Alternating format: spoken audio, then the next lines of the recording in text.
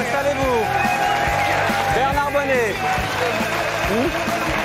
Standing ovation. Standing ovation pour Bernard Bonnet. Ouais, on ne s'y attendait pas, mais bon. Le sang et le pilori. Bonsoir. Bonsoir, On dit toujours pardon. monsieur le Bon- préfet ou Oh, oui, en retraite, mais on peut dire monsieur le préfet. On dit Bonsoir. pas feu, monsieur le préfet. Ah Non, pas encore. Ce type de C'était juste pour aller plus vite que Ruquier, Voilà. excusez-moi. Donc en 2004, la Cour de cassation vous a condamné à trois ans de prison, dont un ferme, à trois ans de privation de vos droits civiques et civils, à la déchéance de vos décorations pour l'incendie de Payotte. Vous avez obtenu un aménagement de peine et vous attendez une hypothétique réhabilitation, réhabilitation pardon, de la Cour européenne des droits de l'homme. Vous savez que Guillaume Seznec a attendu 80 ans. Vous avez le temps devant vous. Non, parce qu'il s'est passé quelque chose de beaucoup plus important Ah. depuis l'arrêt de la Cour de cassation. Et c'est pour ça que je regardais ce reportage, qui est d'ailleurs très très bien fait. En vous remerciant. Mais Le dessin, les incendies à Paris, c'est pas moi, le j'ai- eu-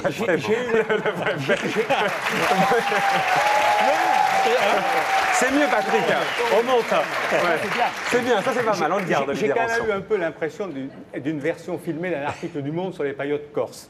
Parce qu'il se trouve que là, effectivement, c'était sur le thème du mensonge, Mmh. la justice française, en février 2005, m'a reconnu innocent de l'infraction pour laquelle six gendarmes Enfin, et moi-même enfin, avons vous été dire. incarcérés. Innocent parce qu'elle reconnaît que la paillote n'appartient pas à M. Ah non, pas mais à l'État. Donc Non, vous ne pouvez pas. ne non, pouvez pas. Ça- non, non, pas du tout. Euh, nous avons été incarcérés, six officiers de gendarmerie, un préfet, pour une paillote appartenant à M. Ferraud. Mhm. Enfin, vous en souvenez, d'ailleurs, c'est quelqu'un de tout à fait sympathique, euh, de jovial. Et que dit la, la justice y a la Cour administrative de Marseille? Six ans après, la paillote n'était pas, M. Ferraud, il n'était pas le propriétaire. Ça, on a bien compris. Non, non, non, attendez, c'est très. Excusez-moi, mais c'est quand même très important. Allez-y, mais après, allez-y, Personne mais- n'en parle. Enfin, Si, si, tout le monde en il- parle. Non, personne. Comme dirait l'autre. Il, il n'était pas. Il n'était. Allez-y. Que vous, vous jouez un peu sur les mots Non, pas du tout. Non, Vous non, êtes, non, en train, attendez. vous êtes en Non, train de dire, non, Monsieur Bonnet, non, que la paillote Non, n'appartenait pas à Monsieur Ferraud, mais comme elle était construite non, illégalement sur le littoral, non, non, et donc non. vous pouviez, vous pouviez la faire non, cramer. Laissez-le mentir tranquille. Allez-y. Alors, termi- terminé, Bernard Bonnet. C'est beaucoup plus grave que ça. La justice, c'est pas le loto. C'est-à-dire que lorsque on impute une infraction, elle existe ou elle n'existe pas. Il a fallu six ans à la justice pour dire que la paillote n'appartenait pas à celui qui a déclenché l'affaire, c'est le seul plaignant, parce qu'il n'était pas propriétaire, qu'il n'était pas restaurateur, mais commerçant clandestin, et qu'il n'était pas propriétaire, mais squatteur de plage. Ça veut dire, non mais attendez, c'est très important, nous sommes dans un pays d'état de droit. Ça veut dire très concrètement que l'infraction qui a fait scandale est une infraction qui n'existait pas, et c'est la justice Mais alors, je qui vais vous, le dit. alors, je vais vous poser une question autrement, puisque je ne suis pas juge et euh, j'ai bien compris, donc euh, il ne pouvait peut-être pas plaider, enfin il ne pouvait pas déposer plainte puisque ce- il n'était pas Il censé être là. plainte. Moi j'ai une question à vous Je vous poser simplement. Je J'ai en bien compris, euh, vous- légalement il ne pouvait pas déposer plainte puisque normalement il n'avait rien à faire là. Mais est-ce que vous, vous avez donné l'ordre de faire cramer cette paillote? J- écoutez, je ne vais quand même pas violer une décision de justice qui vient de dire qu'il n'y avait pas, qu'il n'y a pas eu d'infraction. Je ne peux pas avoir C'est pas ma question, Bernard Ah Bonnet. bon Ma question, Ah, elle est simple. Est-ce que vous, en Corse, Oui, il y a eu quand deux- vous étiez préfet, est-ce que vous avez dit de façon explicite ou implicite, Je- certes, Je me de- brûlerais bien voilà. la paillote. pas de, cra- pas de vais- cramer la paillote de M. Ferraud puisqu'elle appartient à personne. Est-ce que vous avez dit cramer paillote personne. comme tout le monde vous le dit Je vais vous répondre très, très simplement. Il y a eu deux ordres écrits de détruire cette paillote. Et ça surprend. Deux ordres écrits. Le premier, le 4 mai 1995, je n'étais pas arrivé. La justice a donné l'ordre à M. Ferraud de détruire sa paillote. Attendez, Ce n'est laissez-moi pas ma bout. question. Mais, si, euh, j'en je- parle je- vous Mais irez c'est sa réponse. vous- Vous irez au bout de votre- vous irez au bout de votre réponse. Ma question, c'est pas ça, monsieur Monsieur Bonnet. On va tourner autour du pot. Non, ma Non, question. non, je répondrai. Est-ce que vous avez demandé, Non, soyez est-ce que vous avez demandé à des gendarmes d'aller cramer Marc- cette paillote Marc laissez-moi répondre à votre question. Bah, c'est ce que je fais si vous voulez faire, non, mais attendez, si vous voulez faire les questions et les réponses. Non, je voudrais avoir des réponses à mes questions, pas je vais- aux questions que je vous pose vais- pas. C'est très simple. L'ordre écrit, je l'ai donné le 7 mai 1995 au génie militaire, Mhm. et c'est un ordre qui est dans le dossier, effectivement d'appliquer la décision de justice. En l'occurrence, ils en ont manqué. Hein, Et, parce non, qu'ils mais se sont attendez, fait c'est gauler. le gé- Ils vont pas le- très bien.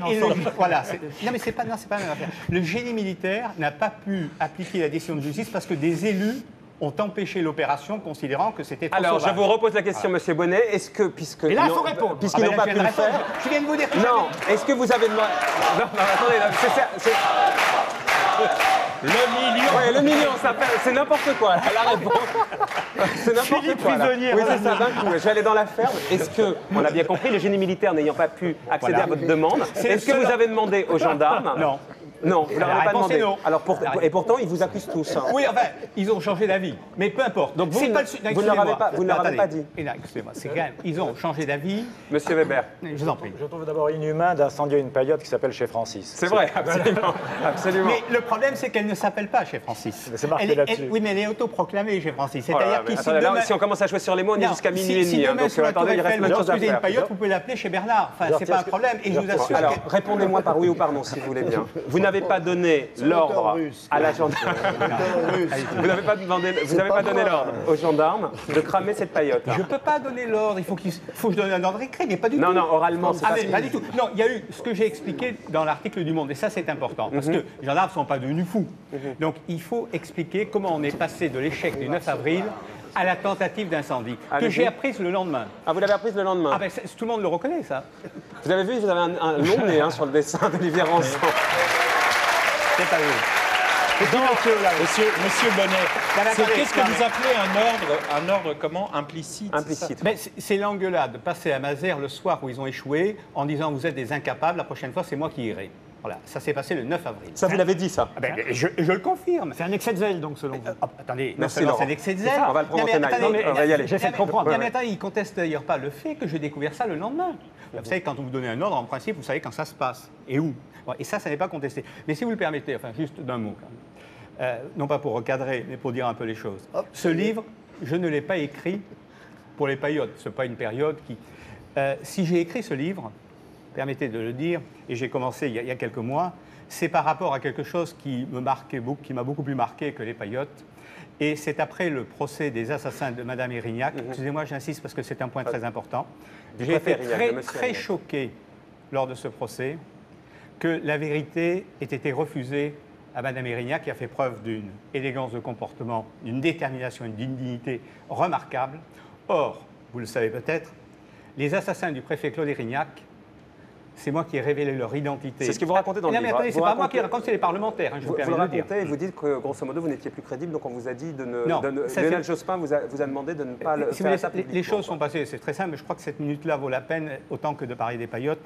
Un jour, fin, à la fin de l'été 1998, dans une table qui était moins prestigieuse que celle-ci, un héros corse qui s'appelle Corté est venu me voir. Vous le racontez et- dans le livre. Oui, mais les yeux dans les yeux m'a expliqué qui avait assassiné mon prédécesseur, pourquoi et dans quelles conditions. Et je suis venu chez le procureur de la République de Paris le lui dire. Donc, si vous voulez, j'ai c'est ce Enfin, qu'est-ce qui- témoignage. Donc, le pouvoir n'a D'abord, Monsieur Bonnet, qu'est-ce qui vous faisait croire, euh, euh, euh, ce monsieur, qu'est-ce qui faisait croire que c'était qu'il disait la vérité, d'une part, et deuxièmement, on parle là euh, des, des paillotes, etc. Je trouve qu'il y a Oui, un amalgame paillotes- assez démagogique dans un instant, avec la noblesse et la pourquoi vous n'avez pas tristesse non, non, Guy Carlier. Monsieur je, Bonnet, je dis dans mon livre précisément que je n'ai. Attendez, je vais répondre. Je ne- je n'ai pas osé trop parler de cette affaire précisément à Irignac pour ne pas être accusé d'un comportement tout à fait scandaleux qui serait de mélanger Bah une oui, vous êtes tragédie gentil, mais là, vous êtes républicaine gentil, et vous mettez- vos deux photos et vous Mais- mettez le sang et le pilori. mais- mais Vous- mettez mais- les deux choses C'est une même- photo qui est capitale. Vous Ah, avez, c'est la seule dans l'histoire de la République. Vous avez un préfet assassiné, son successeur incarcéré, et le lien entre les deux, c'est que c'est le successeur qui découvre, ou plutôt qui révèle l'identité si des révélez, assassins pourquoi vous ne l'avez pas révélé au grand public à ce moment-là? Pourquoi vous n'avez pas.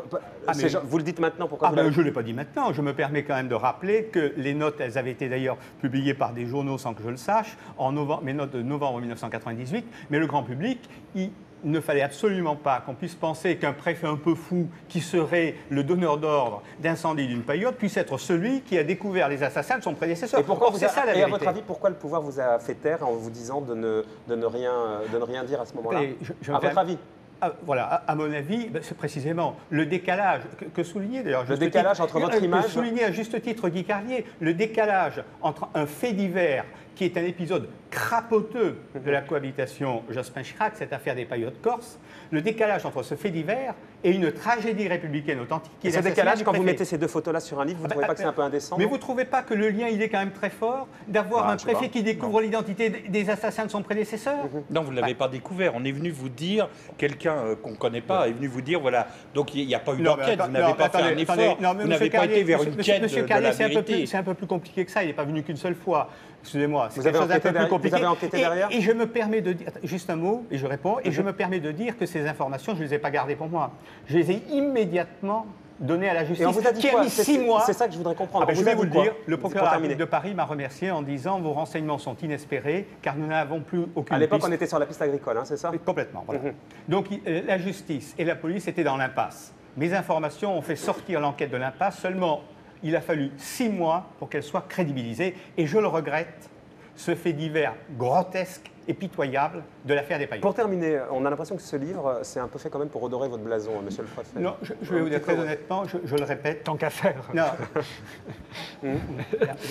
Trop d'esprit tue l'esprit, Laurent Ruquier. Non, mais je vois mal quelqu'un sortir un bouquin en disant je suis vraiment un salaud, quoi. Non, mais je, je me permets de dire Pour terminer là-dessus. Alors, je termine. Mon livre, le point de départ, c'est évidemment euh, mon témoignage. Et je me permets de citer même le, chapitre livre, c'est chapitre 9. Quand je le relis, c'est à fleur de frisson, c'est mon témoignage que je ferais si j'étais cité devant la Cour d'assises spéciale de Paris pour expliquer dans quelles conditions cet assassinat a été perpétré, perpétré pardon, et surtout comment il a été préparé, cette vérité qui à ce jour a été refusée Dominique Régnac, ce que je trouve parfaitement ignoble. Aujourd'hui, vous risquez de retourner en, prison, vous, personnellement? Non, euh, il, semble, Oui. il, semble, il semble que non. Ah bon Donc, non, si vous voulez, je vais vous dire, les- vous savez, pour ce qu'on enfin, vous savez pas d'ailleurs, et je vous en félicite, pour, pour ce qu'on appelle les, les courtes peines, quand il y a déjà eu une détention provisoire, mon avocat, Maître Portejoie, a su convaincre le juge qu'il était plus important de- de- d'être inséré que réincarcéré, et, et j'ajoute euh, qu'effectivement, euh, ce n'est pas une faveur, c'est la règle pour ce qu'on appelle les courtes peines. Le sang et le pilori, Bernard Bonnet aux éditions de l'Archipel. Merci, euh, monsieur le préfet. Merci à vous.